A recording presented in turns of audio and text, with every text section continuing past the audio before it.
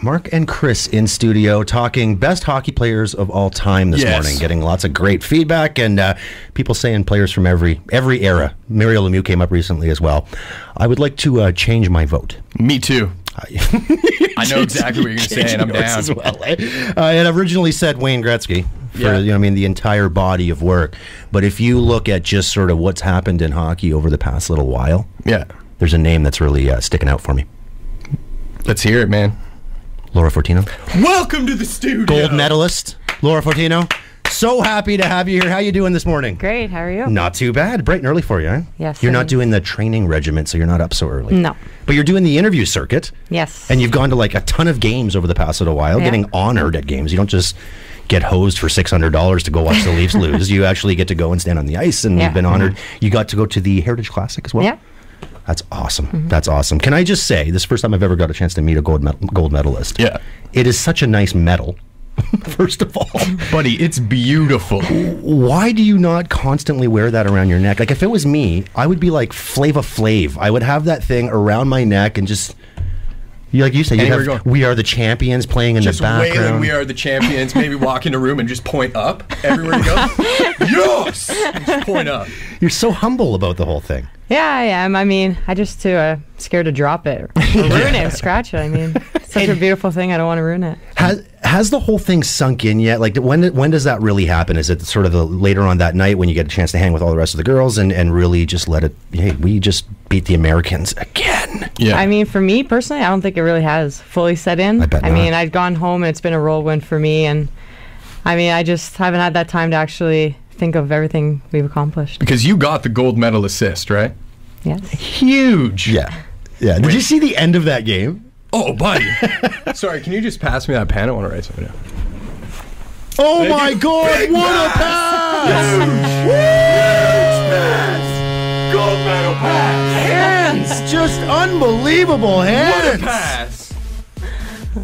That's Sorry. big time. There you go. We Sorry, had to do that. We had to be part of it. yeah. I needed to get something passed to me from a gold medal. I'm such a loser. I just sat like I wish I could be a part of it. Here, this is the way I can do it. Yeah, exactly.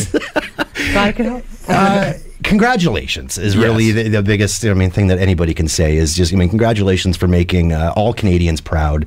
Um, I Thank mean- you, even. Oh yeah, just Like, I don't even know what to say. Thank you for beating the Americans is the biggest thing. And Exactly. we were just talking uh, while uh, music was playing there that when it comes to rivalries in sports, you know, I mean, you got the Leafs and the Habs, a little bit of the Leafs and the Sens. You got, you know, I mean, some soccer ones.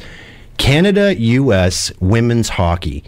Generally, there isn't a lot of uh, body contact in women's hockey. When you guys play the Americans, it's an absolute just bloodbath. I thought there was going to be a brawl at the end. do you prepare for that like ahead of time? Do you think as a team like, okay, this isn't this isn't Finland, this isn't Sweden, this is this is the holy grail. We got to beat uh, we got to beat these ones.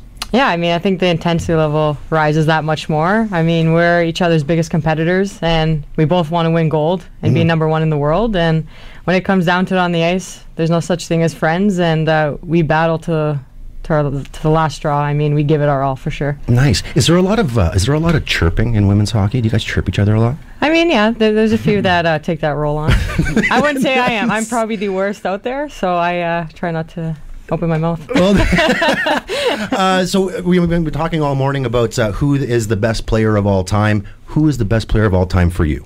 Ray Bourque. Ray Bourque. wow. Boston Bruin, Colorado Avalanche. Yep.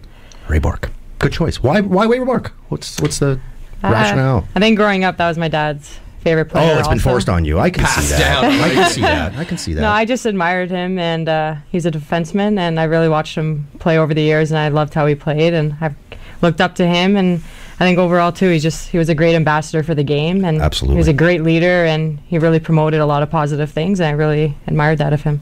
hey, thank you so much for stopping by this morning. Thank Gold you. medalist. Great pass, too, by Great the way. Great pass, yeah. Like in that game as well as this morning when you passed Chris. Oh, I was just talking about now. I've never been handed a pen like that before in my life.